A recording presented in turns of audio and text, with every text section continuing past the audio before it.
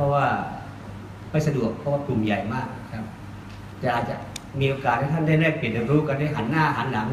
คุยกันนะฮะหรือว่าให้เป็นงานเดี่ยวนะครับอ้าวคราวนี้ลองพวกเราท่านใดที่สายธรรมะนะฮะลองเดาที่ว่าใครเขาเนี่ยอ๋อนี่เหรอครับใครฮะท่านปัญญานะ